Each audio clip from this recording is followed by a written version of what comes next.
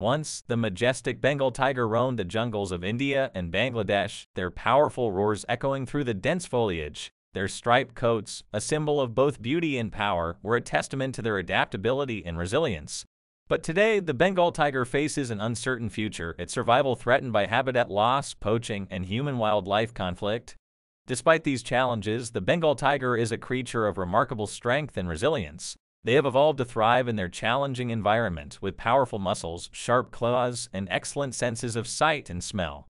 These adaptations allow them to hunt effectively and avoid predators, making them one of the apex predators in their ecosystem.